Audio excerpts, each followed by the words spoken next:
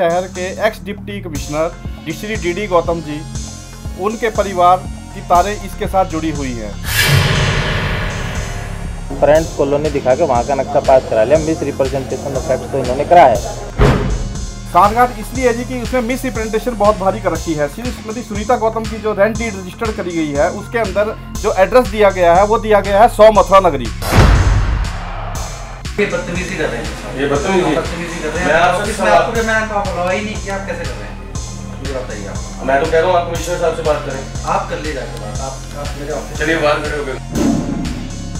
तो आप साफ़ लफ्जों में ये कहेंगे कि ये अवैध बना हुआ है इलीगल है। टोटल इलीगल है टोटल टोटल इलीगल है टोटल टोटल इलीगल है टोटल कि एक बड़े बहुत बड़े पूंजीपति को फ़ायदा पहुँचाने के लिए कमिश्नर साहब कहते हैं कि एक्सीएन के पास जाओ। जैसा कि उन्होंने बताया मुझे रेंट उसमें आरटीआई के माध्यम से कि इसका कोई नक्शा स्वीकृत नहीं है। एक्सीएन सिरे से खारिज कर देते हैं। उनका कहना है कि एमई के पास चार्ज हैं या बिल्डिंग इंस्पेक्टर के पास चार्ज हैं। बिल्कुल गिफ्ट है सर ये। जी। आप तभी ये कोई भी कमिश्नर इस पर कार्रवाई नहीं करता नगर निगम का कमिश्नर कार्रवाई नहीं करता डिप्टी कमिश्नर कार्रवाई नहीं करता और मुझे लिखित में देते हैं ये कि क्लार्क इनको कोई एनओसी नहीं है। या तो कमिश्नर साहब को नहीं पता। आरटीआई के माध्यम से बात हो रही है सारी की सारी। उन्होंने ही इंफॉर्मेशन दी है जिसकी बदौलत मैंने सतारह सी विंडो लगाई हैं।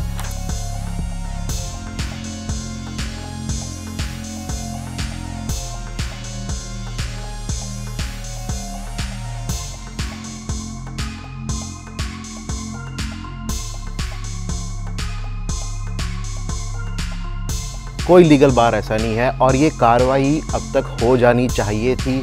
ये क्यों नहीं हो रही? गॉड नोज़ इसके पीछे अगर कुछ लगता है तो एक नेक्सस ही लगता है और पैटर्नेज लगती है। तो क्या क्या अधिकारी क्या बोलते हैं? अधिकारी तो कुछ बोलते ही नहीं ना। अधिकारी तो अपना काम करके चुपचाप बैठ जाते हैं मुँह छुपा लेते हैं। क्योंकि आप ये लगा लो कि ये तो सरकार की रहमोकर्मी है या किसकी है ब्यूरोक्रेसी की है इस परिवार की है डर खौफ जो भी कह सकते हो आप उसी के रहमोकर्म पे चल रहा है या गिफ्ट दिए हुए हैं। नमस्कार एवन पंजाबी देख रहे सभी दर्शकों का मैं बहुत बहुत स्वागत करता हूँ। मैं स्वर्णजीत सिंह बाबा एक बार फिर आपके समक्ष और जैसा कि हमारे दर्शक हमें बार बार संपर्क कर रहे थे कि जग्गी सिटी सेंटर जो हरियाणा में एक ओपन शॉपिंग मॉल है, उससे संबंधित और क्या जानकारी समझ आई है और और क्या जानकारी आप लाने वाले हैं। तो दर्शकों की मांग पर और कम साथ ही लोगों के बार बार संपर्क साधने के बावजूद आज हम पूर्ण रूप से तथ्य लेकर के आए हैं जग्गी सिटी सेंटर से संबंधित। आपको याद होगा 2014 में जब इस देश के प्रधानमंत्री श्री नरेंद्र दामोदर दास मोदी ने शपथ ली थी तो उन्होंने बात की थी कि मैं भ्रष्टाचार मुक्त भारत जो है, वो बना करके रहूँगा और भ्रष्टाचार की जड़ें जो हैं, हिला दूँगा। लेकिन बात करते हैं हरियाणा प्रदेश में जग्गी सिटी सेंटर की जो ओपन शॉपिंग मॉल बनाया गया और बात मैं करने जा रहा हूँ कि क्या यह शॉपिंग मॉल लीगल और इलीगल है, या जिसे हम कह सकते हैं कि इसका वैध निर्माण किया, करवाया गया या अवैध निर्माण करवाया गया। इसी से संबंधित आज हमारी यह चर्चा है। और साथ ही हम ये जानने के लिए हमारे साथ आज अंबाला से अनूप राणा जो कि आरटीआई एक्टिविस्ट हैं वो यहाँ पर मौजूद हैं और साथ ही उनके सरबजीत सिंह जो एडवोकेट हैं जो लीगल एडवाइजर हैं उन दोनों का मैं एवन पंजाबी के स्टूडियो पर बहुत बहुत स्वागत करता हूँ। अनूप जी बहुत बहुत स्वागत है। सरबजीत जी आपका भी। नमस्कार। तो बात हम कर रहे हैं सबसे पहला मेरा सवाल जो कि हमारे दर्शकों ने हमें कमेंट बॉक्स में भी बहुत बार लिखा और साथ ही उन्होंने जानने का ये उन सब में एक उत्सुकता थी कि क्या जग्गी सिटी सेंटर, जो इतने समय से आप एवन पंजाबी के माध्यम से खबर दिखा रहे हैं कि क्या ये अवैध है या वैध है? सबसे पहले अनूप जी, आप इतने समय से लगभग दो ढाई वर्षों से इसी मॉल से संबंधित जो है जानकारी जुटा रहे हैं। तो सबसे पहला सवाल कि यह इलीगल है, लीगल है? और अगर ये इलीगल है तो क्या कारण है? और कौन कौन इसमें सम्मिलित है? क्योंकि बहुत से आला अधिकारियों के नाम है। ये टोटल इलीगल है जी। इसकी कोई सीएलयू नहीं है, कोई फायर की एनओसी नहीं है कोई इसका बिल्डिंग प्लान नक्शा नहीं है कुछ पास नहीं है इसका। ये बस सरकार ब्यूरोक्रेसी के रहमोकरम पे ही ज़िंदा खड़ा है। एक परिवार गौतम परिवार की वजह से ये ज़िंदा खड़ा है यहाँ पर। गौतम परिवार आपने बताया गौतम परिवार पर जरा प्रकाश डालें कि गौतम परिवार कौन है और क्या। शहर के एक्स डिप्टी कमिश्नर डिस्ट्री डीडी गौतम जी उनके परिवार की तारें इसके साथ जुड़ी हुई हैं। इनको एक दुकान इनकी है एक इनकी वाइफ सुनीता गौतम के नाम से है दुकान नंबर तीस और इकतीस के मालिक हैं दोनों। जिनका कोई नक्शा नहीं है, कोई सीएलयू नहीं है दोनों का, और कोई फायर की एनओसी नहीं है उनकी। डीडी गौतम की आपने बात की कि उनकी धर्मपत्नी के नाम पर एक दुकान है और एक दुकान उनके नाम पर है। तो डीडी गौतम जी, जिस समय पर इसकी आधारशिला रखी जा रही थी जैसा कि मेरा प्रश्न भी है, लीगल और इलीगल अवैध और वैध तो क्या डीडी गौतम उस समय मौजूदा डीसी थे वहाँ पर? नहीं उस समय नहीं थे। जी। उस समय उनके जो जब रेंट डीड रजिस्टर्ड करी गई तो उनके भाई श्री टीकाराम गौतम जी थे नैब तहसीलदार जिन्होंने रेंट डीड रजिस्टर्ड करी। कागजों की गो, गोलमाल तो तभी से हो रहा था। जब बीच में कुछ कागज़ जब ज़्यादा मिलने शुरू हो गए आरटीआई के द्वारा तो इन्होंने अपने भतीजे को श्री टीकाराम गौतम जी के बेटा जो अभिनव गौतम है जो कि इन दुकानों के साथ इनका इसका भी रेंट डीड हो रखी है हरदीप सिंह जग्गी के साथ। पचपन इक्यासी नंबर रेंट डीड नंबर है भाई। 2018-19 की रजिस्टर्ड है। आप कृपया कभी भी कोई भी चेक कर सकता है जाके रेंट डीड उसमें श्री अभिनव गौतम जी और श्री वैभव गौतम जी दोनों भाइयों ने पाँच दुकानें लीज डीड पे ले रखी हैं। अभिनव गौतम की आपने बात की वो मौजूदा इस समय नायब तहसीलदार है। मौजूदा नायब तहसीलदार हैं।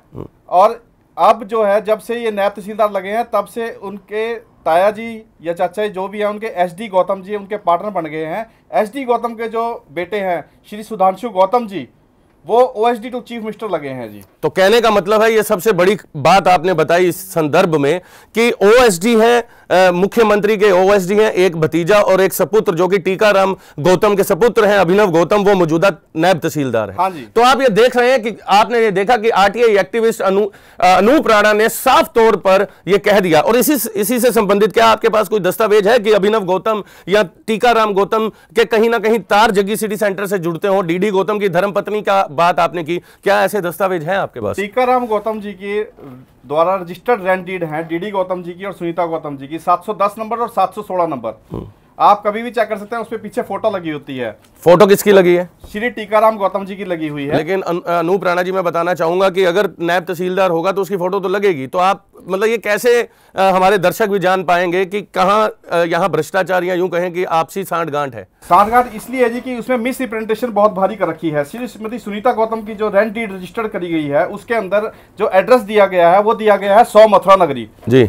और अब वो- सो मथुरा नगरी सौ मथुरा नगरी ही हरदीप सिंह जग्गी का घर का अ, मकान नंबर है जी तो वो कब रहे हैं ऐसा क्या पता जब डीसी रहे हो शायद या उसके बाद कोई घर की दिक्कत आई हो वहां उन्होंने रेंट पे ले लिया हो तो कब रहे हैं ये तारे सीधी सीधी जुड़ रही है उसके साथ ਅਨੂਪ ਰਾਣਾ ਜੀ ਨੇ ਜਦੋਂ ਡੀਡੀ ਗੌਤਮ ਦੇ ਉੱਪਰ ਇਲਜ਼ਾਮ ਲਾਏ ਤਾਂ ਏਵਨ ਪੰਜਾਬੀ ਚੈਨਲ ਨੇ ਮਿਸਟਰ ਡੀਡੀ ਗੌਤਮ ਜੀ ਦੇ ਨਾਲ ਸੰਪਰਕ ਕੀਤਾ ਹੈ ਉਹਨਾਂ ਦਾ ਪੱਖ ਲੈਣਾ ਚਾਹਿਆ ਕਿ ਜਿਹੜੇ ਇਲਜ਼ਾਮ ਤੁਹਾਡੇ ਤੇ ਲੱਗ ਰਹੇ ਨੇ ਆਖਰ ਉਹਨਾਂ ਵਿੱਚ ਕਿੰਨੀ ਕੁ ਸਚਾਈ ਹੈ। ਏਵਨ ਪੰਜਾਬੀ ਚੈਨਲ ਨਾਲ ਹੋਈ ਮਿਸਟਰ ਡੀਡੀ ਗੌਤਮ ਦੀ ਗੱਲਬਾਤ ਤੁਸੀਂ ਸੁਣ ਸਕਦੇ ਹੋ। ਹੈਲੋ। ਹੈਲੋ।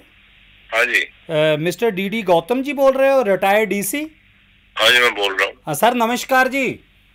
ਨਮਸਕਾਰ। Sir A one Punjabi channel ਦੇ ਹੈੱਡ ਆਫਿਸ ਤੋਂ ਮੈਂ ਗੱਲ ਕਰ ਰਿਹਾ ਸੀ ਸੋਮ ਸਹੋਤਾ। ਹਾਂਜੀ। ਸਰ ਥੋੜੀ ਇਨਫੋਰਮੇਸ਼ਨ ਲੈਣੀ ਸੀ ਆਪ ਜੀ ਦੇ ਕੋਲੋਂ। भाई मेरे क्यों इन्फॉर्मेशन लेते हो आप मेरे से क्या जरूरत है आपको इन्फॉर्मेशन लेने की ਸਰ ਜੱਗੀ ਸਿਟੀ ਸੈਂਟਰ ਬਾਰੇ ਗੱਲਬਾਤ ਕਰਨੀ ਸੀ ਜਿੱਥੇ ਤੁਹਾਡੀਆਂ ਦੋ ਸ਼ਾਪਸ ਨੇ ਸ਼ਾਪ ਨੰਬਰ 30 ਹੈਲੋ ਹੈਲੋ ਦੋਸਤੋ ਮੈਂ ਇੱਥੇ ਦੱਸਣਾ ਚਾਹੁੰਦਾ ਕਿ ਮਿਸਟਰ ਡੀਡੀ ਗੌਤਮ ਜੀ ਨੇ ਜੋ ਕਿ ਰਿਟਾਇਰਡ ਡੀਸੀ ਨੇ ਉਹਨਾਂ ਨਾਲ ਅਸੀਂ ਗੱਲਬਾਤ ਕਰਨ ਦੀ ਕੋਸ਼ਿਸ਼ ਕਰ ਰਹੇ ਸੀ ਲੇਕਿਨ ਉਹਨਾਂ ਨੇ ਵਿੱਚੋਂ ਹੀ ਸਾਡਾ phone A one Punjabi channel ਦਾ ਕੱਟ ਦਿੱਤਾ ਹੈ। ਹਾਲਾਂਕਿ ਅਸੀਂ ਪੁੱਛ ਰਹੇ ਸੀਗੇ, ਉਹਨਾਂ ਦੇ ਕੋਲੋਂ ਇਹ ਜਾਣਨ ਦੀ ਕੋਸ਼ਿਸ਼ ਕਰ ਰਹੇ ਸੀ ਕਿ ਜੱਗੀ ਸਿਟੀ ਸੈਂਟਰ ਦੇ ਵਿੱਚ ਦੋ ਸ਼ਾਪਸ ਨੇ ਸ਼ਾਪ ਨੰਬਰ 30 ਔਰ 31 ਜਿਹੜੀ, ਉਹ ਮਿਸਟਰ ਡੀਡੀ ਗੌਤਮ ਜੀ ਦੇ ਨਾਮ ਹੈ ਔਰ 31 ਨੰਬਰ ਜੋ ਹੈ ਉਹਨਾਂ ਦੀ ਵਾਈਫ ਦੇ ਨਾਮ ਹੈ। ਲੇਕਿਨ ਸਵਾਲ ਇੱਥੇ ਇਹ ਹੈ ਕਿ ਇੱਕ ਜ਼ਿੰਮੇਵਾਰ ਆਫੀਸਰ ਜਿਸ ਨੇ ਕਿ ਪੂਰੀ ਜ਼ਿੰਦਗੀ ਜ਼ਿੰਮੇਵਾਰੀਆਂ ਨਿਭਾਈਆਂ ਨੇ, ਉਹਨਾਂ ਨੂੰ ਪਤਾ ਕਿ ਨਕਸ਼ਾ ਉੱਥੇ ਦਾ ਪਾਸ ਨਹੀਂ ਹੈਗਾ। ਨਾ ਹੀ ਉੱਥੇ ਦਾ ਸੀਐਲਯੂ ਹੈਗਾ ਤੇ ਨਾ ਹੀ ਐਨਓਸੀ ਹੈ ਨਾ ਹੀ ਇਸ ਤੋਂ ਇਲਾਵਾ ਮਾਸਟਰ ਪਲਾਨ ਉੱਥੇ ਦਾ ਪਾਸ ਹੈ ਔਰ 1000 ਕਿਲੋ ਵਾਟ ਦਾ ਜਿਹੜਾ ਜਿਹੜੀ ਸਪਲਾਈ ਹੈ ਬਿਜਲੀ ਦੀ ਉਹ ਸਿਰਫ ਹੋਟਲ ਦੀ ਹੈ ਔਰ ਉਸ ਨੂੰ ਕਿਸ ਤਰ੍ਹਾਂ ਇਹ ਕਨਵਰਟ ਕਰਕੇ ਦੂਸਰਿਆਂ ਨੂੰ ਸਪਲਾਈ ਕਰ ਰਹੇ ਨੇ ਇਸੇ ਹੀ ਵਿਸ਼ੇ ਨੂੰ ਲੈ ਕੇ ਅਸੀਂ ਇਹਨਾਂ ਨਾਲ ਗੱਲਬਾਤ ਕਰਨੀ ਸੀ ਪਰ ਇਹਨਾਂ ਨੇ ਵਿੱਚੋਂ ਹੀ ਸਾਡਾ ਫੋਨ ਕੱਟ ਦਿੱਤਾ ਹੈ तो आप अ, साफ लफ्जों में ये कहेंगे कि ये अवैध बना हुआ है इलीगल है टोटल इलीगल है टोटल चलिए टोटल इलीगल है। अगर बात हम अभी हमने आगाज़ किया कि क्या जग्गी सिटी सेंटर अवैध है या वैध है तो अनूप राणा जी ने दस्तावेज़ भी दिखाए।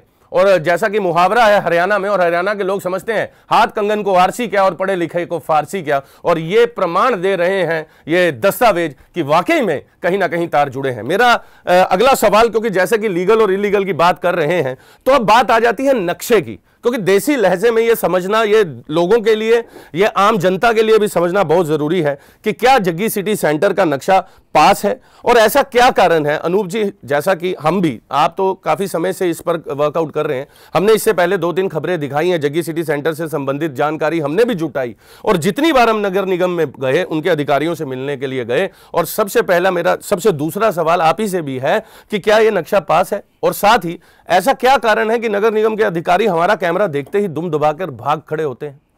सर मैं कुछ मैं कोई अथॉरिटी नहीं हूँ कि नक्शा पास करूँगा या नक्शा पास है या नहीं है। जैसा कि उन्होंने बताया मुझे रेंट उसमें आरटीआई के माध्यम से कि इसका कोई नक्शा स्वीकृत नहीं है। आरटीआई के माध्यम से बात हो रही है सारी की सारी। उन्होंने ही इन्फॉर्मेशन दी है जिसकी बदौलत मैंने सतारह सीएम विंडो लगाई हैं। सतारह सीएम विंडो लगाई हैं आप। आज भी पेंडिंग खड़ी हैं। इन सीएम विंडो में मैं एक बार अपने दर्शकों को बताना चाहूँगा। चलिए ये दस्तावेज़ जो हैं आप एवन पंजाबी के माध्यम से एक एक जो है हम इसकी छाया चित्र भी आपके समक्ष ये लगा करके ज़रूर भेजेंगे। और एक बार आप ये देख लीजिएगा कि 17 की 17 सीएम विंडो जो है, अनूप राणा जो कि आरटीआई एक्टिविस्ट हैं, उन्होंने इन सीएम विंडो के माध्यम से मुख्यमंत्री ने खिड़की बनाई थी। जब उन्होंने पहली बार सत्ता संभाली थी तो सीएम विंडो का आगाज़ किया था, जैसा कि उन्होंने महिला थानों का आगाज़ किया था। और इन सीएम विंडो में ये चीख चाक, चीख चीख करके ये सीएम विंडोज़ बता रही हैं। 21 सीएम विंडो लगाई हैं अनूप राणा ने, और जिनमें से चार का जवाब जो है सीएम विंडो के अधिकारियों ने देने से मना कर दिया डिस्पोज ऑफ़ कर दिया। क्या कारण है, सर? क्यों डिस्पोज ऑफ़ कर दिया? सर, मैंने इनसे यही पूछा, हर एक सीएम विंडो में अलग अलग कि आप ही कह रहे हैं इस आरटीआई के माध्यम से कि इसकी कोई सीएलयू नहीं है। इस आरटीआई के माध्यम से कह रहे हैं इसका कोई नक्शा नहीं है। इस आरटीआई के माध्यम से कह रहे हैं आप फायर की एनओसी नहीं है। इस आरटीआई के माध्यम से आप कह रहे हैं इसका ट्रेड लाइसेंस नहीं है। इस आरटीआई के माध्यम से आप कह रहे हो कि इसका कोई भी स्टे नहीं है कोर्ट में। तो फिर मुझे बताने के लिए बैठे हो या कार्रवाई करोगे आप? मतलब आप ही करोगे कार्रवाई? मैं थोड़ा ना करूँगा कार्रवाई। राणा जी आपके कहने का भाव यह है कि इन्होंने बता दिया कि ये एक तो अवैध बना है। दूसरा आपने ये कहा कि सत्रह मेरी आरटीआई जो मैंने लगाई और सीएम विंडो लगाई उसमें इन्होंने ये मान लिया कि ना तो इनके पास सीएलयू है ना इनके पास फायर का एनओसी है ना इनके पास ट्रेड लाइसेंस है। मतलब कहने का जो भी संबंधित एक भवन को बनाने के लिए या एक मॉल को बनाने के लिए परमिशन चाहिए होती है वो इनके पास बिल्कुल नहीं है। अगर आप सर ज़्यादा है ਹੈਗਾ ਤੇ ਤੁਸੀਂ ਜ਼ਰੂਰ ਕਾਰਵਾਈ ਕਰਾਓ ਜਨਾਬ ਸਾਡੇ ਤੇ। ਕਾਰਵਾਈ ਕਰਾਓ ਜਨਾਬ ਸਾਡੇ ਤੇ। ਅਸੀਂ ਹੈ ਅਸੀਂ ਤਾਂ ਚਾਹੁੰਦੇ ਆ ਵੀ ਤੁਸੀਂ ਦੱਸੋ ਅਸੀਂ ਤੁਹਾਡੇ ਕੋਲ ਪੱਤਰਕਾਰ ਭੇਜਦੇ ਆ ਉਸ ਨੂੰ ਆਪਣੀ ਪ੍ਰਤੀਕਿਰਿਆ ਦਿਓ। ਜੀ ਜੀ ਜੀ ਜੀ। ਠੀਕ ਹੈ ਨਾ ਸਰ? ਬਿਲਕੁਲ ਠੀਕ ਕਹਿ ਰਹੇ ਜਨਾਬ ਤੁਸੀਂ। ਅੱਛੀ ਗੱਲ ਕਹਿ ਰਹੇ ਹੋ। ਜੱਗੀ ਜੀ ਪਤਾ ਚੱਕਰ ਕੀ ਹੈ? ਤੁਹਾਡੀ ਪ੍ਰਤੀਕਿਰਿਆ ਜਿਹੜੀ ਹੈ ਉਹ ਆਉਣੀ ਬਹੁਤ ਜ਼ਰੂਰੀ ਹੈ ਸਰ। ਸਰ ਤੁਸੀਂ ਜ਼ਰੂਰ ਆਓ ਆਪਣੇ ਬੰਦੇ ਨੂੰ ਭੇਜੋ ਮੇਰਾ ਪੂਰਾ ਇੰਟਰਵਿਊ ਲੈ ਕੇ ਜਾਓ ਜਨਾਬ। ਮੈਂ ਬਿਲਕੁਲ ਤੁਸੀਂ ਦੱਸੋ ਸਰ ਕਦੋਂ? ਦੇਖੋ ਮੀਡੀਆ ਦਾ ਕੰਮ ਹੈ ਤੁਹਾਡਾ ਪੱਖ ਲੈਣਾ ਸਰ। ਸਰ ਜ਼ਰੂਰ ਆਓ ਜੀ ਸਦਕਾ ਆਓ ਸਾਡਾ ਇੰਟਰਵਿਊ ਲੈ ਕੇ ਜਾਓ ਸਾਡੀ ਪ੍ਰਕਿਰਿਆ ਲਓ। ਬਿਲਕੁਲ। ਜੈਲਸ ਜਿਹੜੇ ਲੋਕ ਨੇ ਉਹ ਬੜਾ ਕੁਝ ਬੋਲਦੇ ਨੇ। ਸਰ ਸਰ ਹੁਣ ਤੁਸੀਂ ਬਿਲਕੁਲ ਪੁਆਇੰਟ ਤੇ ਆ ਰਹੇ ਹੋ ਸਰ। ਬਿਲਕੁਲ ਦੇਖੋ ਮੀਡੀਆ ਦਾ ਕੰਮ ਹੈ ਤੁਹਾਡੀ ਪ੍ਰਤੀਕਿਰਿਆ ਲੈਣੀ ਵੀ ਬਹੁਤ ਅੱਛਾ ਚੱਲ ਰਹੇ ਹੋ ਗੁਰੂ ਸਾਹਿਬ ਦੀ ਦਇਆ ਨਾਲ ਤੁਸੀਂ ਠੀਕ ਚੱਲ ਰਹੇ ਹੋ। ਬਿਲਕੁਲ sir. As a new channel ਤੁਸੀਂ ਠੀਕ ਚੱਲ ਰਹੇ ਹੋ ਜੋ ਗੱਲਾਂ ਤੁਹਾਨੂੰ ਨਹੀਂ ਪਤਾ ਤੁਹਾਨੂੰ ਲੋਕ ਮਿਸਗਾਈਡ ਕਰ ਰਹੇ ਨੇ। ਮਗਰ ਤੁਸੀਂ ਸਾਡਾ ਪੱਖ ਜ਼ਰੂਰ ਲਓ ਆਪਣਾ ਆਦਮੀ ਭੇਜੋ ਜਿਹੜਾ ਮੇਰਾ ਇੰਟਰਵਿਊ ਲੈ ਕੇ ਜਾਏ ਮੇਰੀ ਤੁਸੀਂ ਸਵਾਲ ਕਰੋ ਮੈਂ ਹਰ ਗੱਲ ਦਾ ਜਵਾਬ ਦਾਂਗਾ ਆਪ ਨੂੰ। ਬੋਲੋ ਸਰ ਕਦੋਂ ਕਦੋਂ ਭੇਜੀ ਅਸੀਂ ਆਪਣੇ ਪੱਤਰਕਾਰ ਨੂੰ? ਕੱਲ ਕੱਲ ਦਾ ਦਿਨ ਛੁੱਟੀ ਹੈ ਜੀ। ਮੰਡੇ ਨੂੰ ਤੁਸੀਂ ਮੇਰੇ ਨਾਲ ਗੱਲ ਕਰਕੇ ਔਰ ਭੇਜ ਦਿਓ ਜਨਾਬ। ਸਰਬਜੋਤ ਸਿੰਘ ਜੱਗੀ ਜੀ ਦੇ ਕਹਿਣ ਦੇ ਮੁਤਾਬਕ ਕਿ ਮੰਡੇ ਨੂੰ ਮੇਰੇ ਨਾਲ ਸੰਪਰਕ ਕਰਨਾ ਫਿਰ ਤੁਸੀਂ ਜ਼ਰੂਰ ਆ ਜਾਣਾ। ਲੇਕਿਨ ਏਵਨ ਪੰਜਾਬੀ ਚੈਨਲ ਨੇ ਉਹਨਾਂ ਦੇ ਕਹਿਣ ਦੇ ਮੁਤਾਬਕ ਮੰਡੇ ਨੂੰ ਫਿਰ ਸਰਬਜੋਤ ਸਿੰਘ ਜੱਗੀ ਜੀ ਦੇ ਨਾਲ ਸੰਪਰਕ ਕਰਨ ਦੀ ਬਾਰ-ਬਾਰ ਕੋਸ਼ਿਸ਼ ਕੀਤੀ ਗਈ ਪਰ ਉਹਨਾਂ ਦੇ ਨਾਲ ਸੰਪਰਕ ਨਹੀਂ ਹੋ ਪਾਇਆ। और यही कारण है कि जब हम एवन पंजाबी की टीम जाती है तभी ये कैमरा से दुम दबाकर भागते हैं। तभी भागते हैं सर? हम्म। और इसी से जुड़ा एक और मेरा प्रश्न निकल कर आता है कि क्या अ, ऐसा क्या कारण है? आपने जैसा कि आपने कहा कि आरटीआई आपने लगा करके सीएम विंडो लगा करके आपने जवाब टटोलने का प्रयास किया और इन्होंने चार डिस्पोज कर दिए। और बात यह है कि आला अधिकारी सवालों से बचते क्यों हैं? आपने कहा कि कार्रवाई भी तो करोगे। आरटीआई के जवाब दे दिए आपने तो आपने कार्रवाई क्यों नहीं की? तो क्या आपको समझ आया कि क्या ऐसा तो नहीं है कि हरदीप सिंह जग्गी या उनके सपुत्र सरबजोत सिंह जग्गी, उन्होंने कहीं ना कहीं इन अधिकारियों को कोई गिफ्ट दे रखा हो? या ये तो आप खुद समझदार हो कि क्या हो रहा है कि कोई कार्रवाई नहीं हो रही। इतनी डीसी साहब को भी चिट्ठियाँ लिख चुका हूँ मैं दस आठ को कि भाई मुझे सीएम इंडो को लेके भी धमकाया जा रहा है आपका नाम लेके प्रेशराइज किया जा रहा है। लेटेस्ट मैंने ये जो दी है इनको दरखास्त दी है कि ये देखिए आठ रिमाइंडर्स दे रखे हैं मैंने सारे के सारे। ये कौन सी तारीख को दिया है आपने? ये मैंने ग्यारह ग्यारह को दिया है जी। और उसके बाद इकतीस ग्यारह इकतीस बारह को भी दिया है। लेटेस्ट मैंने रिमाइंडर्स दे चुका हूँ मैं सभी को कि मेरे साथ दिक्कत आ रही है आप इस पे कार्रवाई करो और ये पब्लिक पोर्टल पे खड़ा है कागज़। राणा जी आपने इतना इत, इतनी आपने इतनी गहन जाँच कर रहे हैं आरटीआई के माध्यम से आपको कई वर्ष भी हो चुके हैं। तो जो गिफ्ट की मैं बात कर रहा हूँ तो क्या ये डीडी गौतम की धर्म पत्नी डीडी गौतम टीकाराम गो, टीकाराम गौतम ओएसडी उनके भतीजे जो इस समय मुख्यमंत्री के हैं और साथ ही जो अभिनव गौतम जो कि नैब तहसीलदार हैं तो कहीं ना कहीं कोई गिफ्ट तो नहीं प्राप्त हुआ ये दुकानों के रूप में? सर ये दुकानें गिफ्ट ही है और क्या ये नहीं आप नहीं आप आरटीआई के माध्यम से जान चुके हैं आपके पास हाँ दस्तावेज़ भी है। हाँ तो हमारे दर्शक भी ये जानना चाहते हैं मैं भी बहुत उत्सुक हूँ ये जानने के लिए कि क्या ये गिफ्ट है? बिल्कुल गिफ्ट है सर ये। जी। आप तभी ये कोई भी कमिश्नर इस पे कार्रवाई नहीं करता नगर निगम का कमिश्नर कार्रवाई नहीं करता डिप्टी कमिश्नर कार्रवाई नहीं करता और मुझे लिखित में देते हैं ये कि क्लार्क इन को कोई एनओसी नहीं है। अब बात आती है आपने क्लार्क इन की की। हाँ क्लार्क इन हम हम भी जानना चाहते हैं एक बार दर्शक भी जानना चाहते हैं एवन पंजाबी के हाँ क्लार्क इन पर रोशनी डाले क्लार्क इन एक्चुअल में है क्या? क्लार्क इन जो होटल है वो उसके अंदर कोई सीएलयू नहीं कोई बिल्डिंग प्लान नहीं कुछ नहीं है उसका जी। ना फायर की एनओसी है ना ट्रेड लाइसेंस है। हम्म। मैं कुछ नहीं कह रहा नगर निगम सब कुछ कह रहा है अनूप राणा जी मैं ये जानना चाहता हूँ आपने बोला कि क्लार्क इनका ना तो फायर लाइसेंस है ना ही इनके पास एनओसी है ना ट्रेड लाइसेंस है। तो फिर ये होटल चल कैसे रहा है? ये कभी आपने आरटीआई के माध्यम से जानने का प्रयास नहीं किया? सर करा तो बहुत बार है। क्लार्क इनको तीन तीन नोटिस भी जा चुके हैं ट्रेड सर्टिफिकेट के नाम के। तो क्या क्या अधिकारी क्या बोलते हैं? अधिकारी तो कुछ बोलते ही नहीं ना। अधिकारी तो अपना काम करके चुपचाप बैठ जाते हैं मुँह छुपा लेते हैं। हम्म। क्योंकि अब ये लगा लो कि ये तो सरकार की रहमोकर्मी है या किसकी है? ब्यूरोक्रेसी की है इस परिवार की है डर खौफ जो भी कह सकते हो आप उसी के रहमोकर्म पे चल रहा है या गिफ्ट दिए हुए हैं। चलिए मेरा सवाल मेरा सवाल आगे अब सरब एडवोकेट सरबजीत से है। एडवोकेट सरबजीत जी मैं आपसे ये जानना चाहता हूँ कि अवैध निर्माण को लेकर के बीते कई दिनों से अंबाला शहर में जगह जगह पर नगर निगम के अधिकारियों द्वारा एनक्रोचमेंट जिसे अवैध निर्माण कहा जाता है नाजायज अतिक्रमण कहा जाता है उसे हटाया जा रहा है। तो क्या ऐसा कोई, जैसा कि अभी अनूप राणा जी ने बताया कि ना तो ये लीग ये लीगल नहीं है, वैध नहीं है, अवैध है, ना ही इनके पास किसी तरह की एनओसी है। तो आप एक एडवोकेट हैं एडवोकेट होने के नाते तो सर ये आप, ये जो साफ़ तौर पर एक तरफ़ तो सभी शहर के हर एक कोने कोने में अवैध निर्माण पर कार्रवाई हो रही है तो जग्गी सिटी सेंटर पर क्या कार्रवाई होनी बनती नहीं?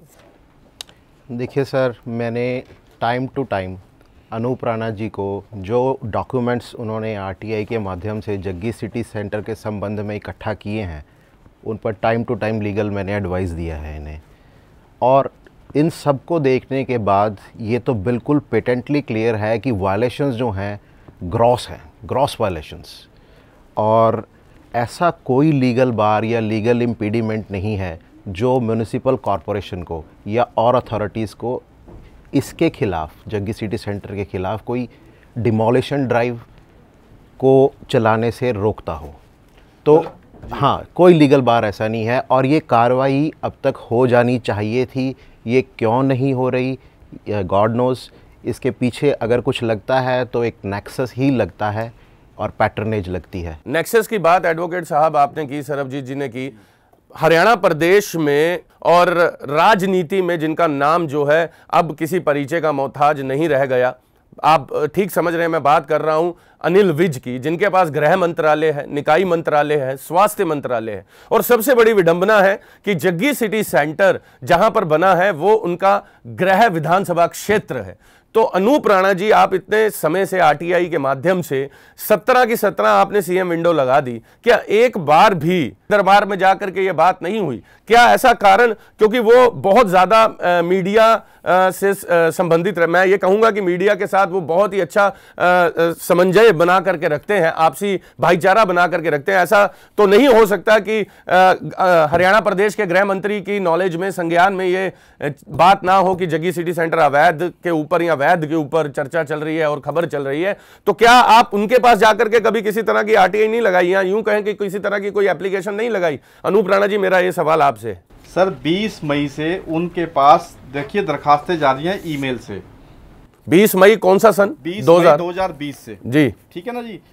10 आठ को भी गई है 20 मई को भी गई है दरखास्तें उनके पास। जी। लेकिन मेरे को लगता है है तो देखो दमदार मंत्री है। जी। लेकिन यहाँ जाके दमदारी पता नहीं क्यों? दमदार के बात मैं करूँ अगर बॉलीवुड में कोई हलचल होती है तो सबसे पहले ट्वीट हम हरियाणा प्रदेश के गृह मंत्री करते हैं। अगर देश में कहीं पर भी कोई किसी भी मुद्दे पर बात हो तो गृह मंत्री अपना पक्ष ज़रूर रखते हैं। ऐसा अनूप राणा जी तो लेकिन क्या कारण है कि जग्गी सिटी सेंटर से संबंधित अभी तक उनकी कोई प्रतिक्रिया नहीं आई है? देखो दबाव तो ले नहीं सकता मंत्री। जी। लेकिन इस मामले में क्यों दब रहा है ये मेरे को पता नहीं है कि क्या क्या कारण है क्या नहीं है। जी। क्या पता क्या मजबूरी हो सकती है। रोज विधानसभा जाते हैं रोज चंडीगढ़ जाते हैं उसी के आगे से निकलते हैं जिसकी बात हम कर रहे हैं जग्गी सिटी सेंटर की जी। कि एक इलीगल एम्पायर खड़ा है। जी। इलीगल एम्पायर का नाम ही नाम दूँगा। जी। ठीक है जी। लेकिन उस पर कोई कार्रवाई नहीं मेरा सवाल एडवोकेट सरबजीत जी आपके आपसे है। बीते कुछ दिनों से हम देख रहे हैं कि अंबाला में नगर निगम द्वारा अलग अलग स्थानों पर नाजायज अतिक्रमण को लेकर के बहुत ज़्यादा सख्ती की जा रही है। यहाँ तक कि रेडी फड़ी जो कि कपड़ा मार्केट के आसपास है चाहे सेक्टर आठ है दस है मानव चौक के पास सब्ज़ी मंडी है वहाँ पर एनक्रोचमेंट पर पीला पंजा जो है वो चल रहा है। यहाँ इतना पुलिंदा जो है अ, अनूप राणा ने ढाई वर्षों से आरटीआई के माध्यम से जानकारी इकट्ठी की है और ये सभी जानकारी ये बता रही है कि वाकई में जगी सिटी सेंटर वैध नहीं है, अवैध है, ना ही इसके पास किसी तरह के संबंधित नक्शा पास है। तो मेरा सवाल है, एडवोकेट साहब, ऐसा कानून में क्या प्रावधान है कि एक घराने को छोड़कर बाकी सभी के ऊपर पीला पंजा चल रहा है और जो अवैध है, उस पर नगर निगम के अधिकारी जाने से भी गुरेज करते हैं? देखिए सर मैंने time to time Anoop Rana ji को जो उन्होंने इन्फॉर्मेशन जग्गी सिटी सेंटर से related information act right to information act में कलेक्ट किया टाइम टू टाइम मैंने उनको उन पर एडवाइस दिया।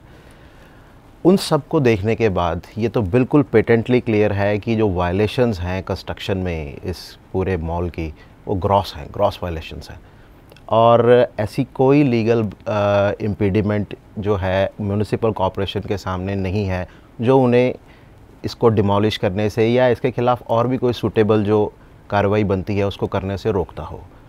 अब क्या है जो जो ब्यूरोक्रेसी को और जो कंसर्न मिनिस्ट्री है, उसको कार्रवाई करने से रोकता है?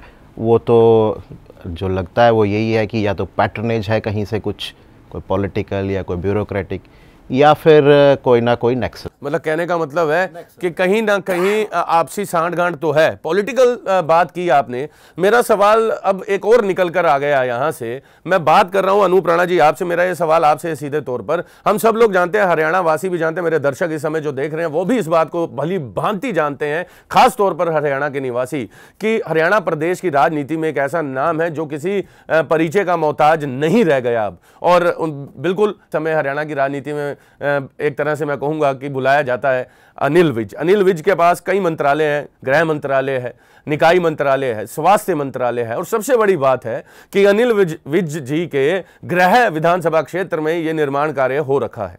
तो अनूप राणा जी क्या आपने इतनी आरटीआई लगाई? इतना आप ढाई साल से लगभग दो ढाई साल से इतनी मेहनत कर रहे हैं तो क्या अनिल विज के संज्ञान में ये कभी बात नहीं लाया? सर मैंने ईमेल द्वारा जितनी भी दरखास्तें जाती थी सब अनिल विज जी के जाती थी। जी। दस आठ को भी गई है दस अगस्त 2020 को 20 मई 2020 को भी गई है। जी। ठीक है ना जी? सब उनके संज्ञान में दे रखा है मैंने। जी। अब कार्रवाई तो उन्होंने करनी है बाकी दबने वाला मंत्री नहीं है अपना। जी। मगर इस पॉइंट पे आके पता नहीं क्या बात हो रही है दबाव क्यों ले रहा है? दबने वाले की बात आपने की इस पॉइंट पर आके आपको याद होगा चाहे सुशांत सिंह राजपूत की बात हो चाहे कंगना रनावत की बात हो कई मुद्दे होते हैं। अनिल विज का सबसे पहले ट्वीट आता है। वही कह रहा हूँ कि ये यूनिक के गृह ज़िले में ये अवैध एम्पायर खड़ा है। जी। और रोज इनका चंडीगढ़ आना जाना होता है। जी। सेक्रेटरिएट में जाते हैं विधानसभा में जाते हैं निकलना भी होता है वापसी आना भी होता है। जी। कि कोई इनके ऊपर कोई इनके पास जब इसके पास से निकलते हैं तो कुछ भी नहीं मतलब कि समझ पा रहे हैं उस बात बिल्कुल ये ये ले पा रहे बिल्कुल। अब चलते चलते बस हम अपने एक और राणा जी ये बात कहना चाहेंगे। देखिए आप एक आरटीआई एक्टिविस्ट हैं। बात ये भी निकल कर आती है क्योंकि बार बार इन अ, सवालों के ऊपर ये आता है कि अभी मैंने बात अभी मैं एक और सवाल जो है इससे इंटरलिंक्ड है क्योंकि हमारे भी सूत्र हैं और हमारे सूत्रों से भी हम जानकारी जो है वो इकट्ठी कर रहे हैं जैसा कि आप आरटीआई के माध्यम से कर रहे हैं। कहीं ना कहीं टाटीपुर के तार भी क्या जगी सिटी सेंटर से जुड़ते हैं क्योंकि टीकाराम गौतम जिस समय नायब तहसीलदार थे आज उनके सपुत्र जैसा कि आपने अभी कहा नैब तहसीलदार अभिनव गौतम है। तो क्या वहाँ कोई ना कोई सांठ गांठ निकल रही है? ऐसा कुछ आरटीआई से निकल कर सामने आया है? सर मेरे को तो अब कोई इन्फॉर्मेशन अब मिलेगी नहीं ना। क्योंकि अब तो बिल्कुल वो उनका घर परिवार बैठ गया बिल्कुल जड़ों में। जी। मुख्यमंत्री के ऑफ़िस में ओएसडी साहब बैठ गए सुधांशु गौतम जी। जी। यहाँ कुंडली मार के अभिनव गौतम जी बैठ गए। जी। तो कहाँ देंगे कागज़? जी। तो कहीं हो ना भी सकता है इन्वेस्टिंग इन्वेस्टिगेशन का मैटर है ये। जी। ये मैंने दरखास्त 20 मई की दे रखी है डीसी साहब को इसकी भी जी। कि आपके कागज़ फटे हुए हैं दस्तावेज़ सब फटे हुए हैं। जी कौन से दस्तावेज़ फटे हुए हैं? फ़ील्ड बुक को कहते हैं उसको वो फटी हुई है भाई। ये फ़ील्ड बुक का कौन से कस्टडी में होती है अच्छा जी। हाँ भाई वो फटी हुई है तो आप इस पे कुछ कार्रवाई तो करो। आज तक कभी बयान भी नहीं हुआ। 20 मई से दरखास्त दी हुई है 2020 से। आ, आपको अनूप राणा जी ये कैसे लिखित तौर पर ये बताया गया कि ये इसका आपको आपके पास दस्तावेज़ है कि फ़ील्ड बुक फटी हुई है जो पटवारी के पास होती है? सर मैंने आरटीआई में कॉपी ली थी जी। हाँ। उसके 10 पेज हिंदी में थे। जी। तो मैंने पूछना ये इन्होंने आनाकानी करनी शुरू कर दी बस। दस पेज हिंदी में थे मतलब हरियाणा में तो हिंदी चलती है। नहीं वो कर सकते वो उर्दू में होता है। तो वो केवल दस पेज और उन दस पेजों के बाद बाद का दस पेज वो उर्दू में है सारा वो दस पेजों में से ही आधे खसरे तो इसी जग्गी सिटी सेंटर के और जो ये आपने मेरा आरोप है ये। हम्म। बाकी तो इन्वेस्टिगेशन का मैटर है एफआईआर दर्ज होगी तभी तो पता लगेगा ना। आप क्या चाहते हैं कि एफआईआर संबंधित अधिकारियों पे दर्ज होनी बिल्कुल। जो उस टाइम थे और जो मौजूदा है। जो मौजूदा है। तो ये जो पटवारी के पास फ़ील्ड बुक है इसका कहीं ना कहीं लिंक जो है नैब तहसीलदार से होता है। बिल्कुल होता है सर पटवारी की रिपोर्टिंग नायब तहसीलदार को होती है। तो कहीं ना कहीं ये मेलाफाइड है। बिल्कुल है जी। कहीं ना कहीं ये तार जुड़े हुए हैं। बिल्कुल जुड़ा ये तो इन्वेस्टिगेशन का मैटर है। एफआईआर दर्ज लेट द एफआईआर जी। आफ्टर दैट जो भी इन्वेस्टिगेशन आएगी। इस पर आप एडवोकेट साहब क्या कहेंगे? जि, जिस प्रकार से फ़ील्ड बुक जो है वो फटी हुई है और फ़ील्ड बुक के जो पन्ने हैं वो हिंदी में लिखे गए हैं और उसके बाद भी उर्दू चल रही है। ग्यारहवें पन्ने से फिर उर्दू आ जाती है। और पहले पन्ने से जो एक से दस है दस, एक से पहले का वो भी उर्दू में है। तो क्या इसके ऊपर किसी तरह की इन्वेस्टिगेशन कौन करेगा और कौन सा डिपार्टमेंट कर सकता है और किसके अधिकार क्षेत्र में? अगर पेजेस ऐसे चेंज हुए हैं जी। तो कोई ना कोई ऑफ़िस ऑर्डर होना चाहिए कि हाँ फ़ील्ड बुक जो है वो फट गई थी उसको रिस्टोर किया गया है दोबारा। ठीक है? एक ऑफ़िस ऑर्डर अगर फ़ील्ड बुक किसी तरह से 10 पेज उसके फट गए थे जी। तो this matter should have been brought to the knowledge of concern tehsildar by the patwari concern उसके ऊपर तहसीलदार उस जो रिपोर्ट पटवारी करता है उसके ऊपर कुछ ना कुछ कार्रवाई करते हुए उसकी रेस्टोरेशन का उस बुक की ऑर्डर कोई ऑफ़िस ऑर्डर पास किया होगा। वो ऑर्डर जो है होना ज़रूरी है जिससे कि वो तीन पेज रिप्लेस हुए। अगर बुक फटी थी तो। दस पेज की बात कर रहे हैं। हाँ हाँ दस पेज अगर जो चेंज हुए हैं अगर वो फटे हैं और उनको दोबारा रिस्टोर किया गया है तो वो एक कंसर्न ऑफ़िस ऑर्डर होना ज़रूरी है जिससे वो रिस्टोर हुए हैं। पर लेकिन ऐसा कोई प्रोसीजर रेस्टोरेशन का है नहीं है। जो फ़ील्ड बुक है ये दोबारा ऊपर अथॉरिटी से नहीं मंगवानी चाहिए थी। नहीं मंगवानी चाहिए। तो अनूप राणा जी ये जो फ़ील्ड बुक का जो ये मैटर है ये इससे संबंधित आपने निकाय मंत्री को मेल पे बताया? 20 मई से रखा जी। इससे ये भी बात 20 मई से गई है दरखास्तें। चलते चलते आप प्रदेश के मुख्यमंत्री देश के प्रधानमंत्री से इस संबंध में कुछ कहना चाहेंगे? मेरा तो हाथ जोड़ के निवेदन है कि जब एक आम आदमी बनाने लगता है तो ये रोड़े अटका देते हैं इतने दीवारें खड़ी कर देते हैं। और ये इतना बड़ा एम्पायर खड़ा हो गया इसको रोकने कोई भी नहीं गया। एक आम आदमी की मजबूरी समझो मेरा हाथ जोड़ के निवेदन है ये। सरबजीत जी आप कुछ कहना चाहेंगे इस इस संदर्भ में? आप अगर यही कहना चाहूँगा कि जो लीगल कार्रवाई होती है बनती है वो इन्हें करनी चाहिए। और अगर ये कहते हैं कि गवर्नमेंट ट्रांसपेरेंट है और बीजेपी गवर्नमेंट ये कहती है कि हम ट्रांसपेरेंट गवर्नमेंट देने के लिए जो है, वचनबद्ध हैं हरियाणा की जनता को तो they should set an example by taking appropriate action against this illegal construction चलिए, मैं अपने दर्शकों को एक बार और, मैं अनूप राणा जी एक बार और आपसे ये जानना चाहूँगा। देखिए, आपने कहा कि क्लार्क इन चल रहा है। दुकानें 117 चल रही हैं, ना तो एनओसी है, ना सीएलयू है, ना ही ट्रेड लाइसेंस है, ना ही बिल्डिंग प्लान है। तो ना तो ये बिना पानी से चल रहा होगा ना सीवरेज के बिना चल रहा होगा ना बिजली के बिना चल रहा होगा। तो इससे संबंधित भी हमारे पास सब कुछ आरटीआई से पता किया हुआ है कि इससे संबंधित क्या क्या है। अभी खुलासा होगा इसका। जी। बताएँगे इसका भी डाल रखा है प्रोसीजर है प्रोसीडिंग लगी हुई है जो भी इस सारे स्कैम में या यूँ कहें कि जग्गी सिटी सेंटर का निर्माण कार्य में जिस जिसका भी जिस जिस सरकारी अधिकारी का गैर सरकारी अधिकारी की इन्वॉल्वमेंट है अगर हम उनकी प्रतिक्रिया लें या अपने स्टूडियो में बुला करके एक डिबेट करें क्या आप उस डिबेट में शिरकत करेंगे आप आएँगे? मैं स्वागत करता हूँ जी उनका। कोई सुने तो सही आगे कोई चाहे नगर निगम वाले आए चाहे तहसील आए चाहे बिजली वाले आए भाई लोग सुनो सही अपने कागज़ तो देख लो शायद तुम्हें ही नहीं तुम्हारे नीचे वालों ने दिखाए हो कागज़। चाहे जग्गी साहब खुद हो। कोई भी जग्गी साहब हो डीडी गौतम जी हो कोई भी हो। चलिए मैं चलते चलते एवन पंजाबी के माध्यम से अपने सभी दर्शकों और खास तौर पर यह बताना चाहूँगा कि अगले भाग में हमारा प्रयास रहेगा, चाहे अंबाला शहर के कमिश्नर हो पार्थ गुप्ता, चाहे एक्सीएन साहब हो रमन जी, चाहे बिल्डिंग इंस्पेक्टर हो भीम सिंह, चाहे ईओ साहब हो और जिन्होंने हाल ही में कार्यभार संभाला है, और चाहे अंबाला शहर की नई बनी मेयर शक्ति रानी शर्मा हो। हम कोशिश करेंगे, और ये हमारा प्रयास जारी भी है। जिन जिन अधिकारियों का इस अवैध निर्माण में साठ गांठ है, उन पर से भी पर्दा एवन पंजाबी बहुत जल्द उठाकर रहेगा। और साथ ही एक बार मैं भी चलते चलते स्वर्णजीत सिंह बाबा, ये अपने सभी दर्शकों को और उन सभी अधिकारियों को निमंत्रण देना चाहूँगा। अगर आप अपना पक्ष रखना चाहते हैं तो आप एवन पंजाबी के स्टूडियो में आकर के इस डिबेट का हिस्सा बन सकते हैं। लेकिन मैं एक बार फिर कहना चाहूँगा कि बहुत जल्द उन सभी भ्रष्ट अधिकारियों के मुख से पर्दा उठाने का काम एवन पंजाबी बहुत जल्द करेगा देखते रहे एवन पंजाबी तब तक के लिए नमस्कार जय हिंद जय भारत ਮੈਂ ਆਪਣੇ ਇਹ ਮੋਢਿਆਂ ਤੇ ਗੋਡਿਆਂ ਤੋਂ ਬਹੁਤ ਦੁਖੀ ਸੀ ਮੇਰੇ ਲਈ ਤਾਂ ਤੁਰਨਾ ਫਿਰਨਾ ਵੀ ਇੰਨਾ ਔਖਾ ਹੋਇਆ ਸੀ ਮੈਂ ਦੱਸ ਵੀ ਨਹੀਂ ਸਕਦਾ ਪਰ ਜਦ ਤੋਂ ਮੈਨੂੰ ਫੀ ਰਿਲੀਫ ਮਿਲਿਆ ਹੈ, ਢਾਈ ਤਿੰਨ ਮਹੀਨੇ ਇਸਤੇਮਾਲ ਕਰਨ ਤੋਂ ਬਾਅਦ ਗੋਡੇ ਵੀ ਓਕੇ ਮੋਢੇ ਵੀ ਓਕੇ ਜੇ ਤੁਸੀਂ ਵੀ ਕਿਸੇ ਇਸ ਤਰ੍ਹਾਂ ਦੀ ਬਿਮਾਰੀ ਤੋਂ ਪਰੇਸ਼ਾਨ ਹੋ ਤੇ ਬੇਸਹਾ ਬੇਚਿਜਕ ਹੋ ਕੇ ਇਸ ਨੂੰ ਇਸਤੇਮਾਲ ਕਰੋ। ਸਿਰਫ ਢਾਈ ਤਿੰਨ ਮਹੀਨੇ। ਇਹ 125 ਬਿਮਾਰੀਆਂ ਤੱਕ ਦੇ ਇਲਾਜ ਕਰ ਸਕਦਾ ਹੈ। ਫੀ ਰਿਲੀਫ ਹਮੇਸ਼ਾ ਯਾਦ ਰੱਖੋ ਬਸ। ਕੁਝ ਦਿਨਾਂ ਤੋਂ ਮੈਨੂੰ ਬਾਲਾਂ ਦੀ ਬੜੀ ਸਮੱਸਿਆ ਸੀ। ਮੇਰੇ ਬਾਲ ਝੜਨੇ ਸ਼ੁਰੂ ਹੋ ਗਏ ਸੀ। ਮੈਨੂੰ ਮੇਰੇ ਦੋਸਤ ਨੇ ਆਇਲ ਫੀ ਰਿਲੀਫ ਵਾਲੇ ਦੱਸਿਆ। ਮੈਂ ਇਹ ਤੇਲ 3 ਕੁ ਮਹੀਨੇ ਲਾਣਾ ਆਪਣੇ ਸਿਰ ਤੇ ਅਪਲਾਈ ਕੀਤਾ। ਇਹ ਬਿਲਕੁਲ ਆਯੁਰਵੈਦਿਕ ਤੇਲ ਹੈ। ਇਹਦਾ ਕੋਈ ਸਾਈਡ ਇਫੈਕਟ ਨਹੀਂ ਹੈ। ਤੇ ਮੇਰੇ ਵਾਲ ਜਿਹੜੇ ਗੰਜਪਣ ਪੈਣਾ ਸ਼ੁਰੂ ਹੋ ਗਿਆ ਸੀ, ਉਹ ਦੁਬਾਰਾ ਆਉਣ ਲੱਗ ਗਏ। ਤੇ ਮੈਨੂੰ ਤਾਂ ਬੜਾ ਫਾਇਦਾ ਦਿੱਤਾ ਇਸ ਨੇ ਜੇ ਤੁਹਾਨੂੰ ਵੀ ਕਿਸੇ ਇਸ ਤਰ੍ਹਾਂ ਦੀ ਪ੍ਰੋਬਲਮ ਦਾ ਤੁਸੀਂ ਸਾਹਮਣਾ ਕਰ ਰਹੇ ਹੋ, ਤਾਂ ਇਹ ਤੇਲ ਲਾਣਾ ਨਾ ਭੁੱਲੋ। ਕਿਤਨਾ ਕਿਤੇ ਅਸੀਂ ਆਪਣੇ ਬਾਲਾਂ ਕਰਕੇ ਸ਼ਰਮ ਫੀਲ ਕਰਦੇ ਹਾਂ ਕਿਤੇ ਸੋਸਾਇਟੀ 'ਚ ਬੈਠੇ ਹਾਂ ਕਿ ਕੋਈ ਮਜ਼ਾਕ ਨਾ ਕਰ ਰਿਹਾ ਹੋਏ। ਪਰ ਥੈਂਕਸ ਟੂ ਫ੍ਰੀ ਲੀਵ ਜਿਨੇ ਮੇਰਾ ਇਹ ਕੌਨਫੀਡੈਂਸ ਬਿਲਡ ਕੀਤਾ, ਜਿਹਦੇ ਲਗਾਨ ਨਾਲ ਮੈਂ ਮਾਰਕੀਟ 'ਚ ਹੁਣ ਬੜਾ ਹੀ ਕੌਨਫੀਡੈਂਟ ਹਾਂ ਔਰ ਇਹਦੇ ਨਾਲ ਮੈਨੂੰ ਬੜਾ ਫਾਇਦਾ ਹੋਇਆ ਤੇ ਮੈਨੂੰ ਸਰਵਾਈਕਲ ਦੀ ਵੀ ਦਿੱਕਤ ਸੀ। ਤੇ ਉਹਦੇ ਨਾਲ ਵੀ ਮੈਨੂੰ ਬੜਾ ਰਿਲੀਫ ਮਿਲਿਆ। ਇਹ ਯੂਜ਼ ਕਰੋ ਤੇ ਮੈਂ ਪ੍ਰੈਕਟੀਕਲ ਯੂਜ਼ ਕਰ ਰਿਹਾ।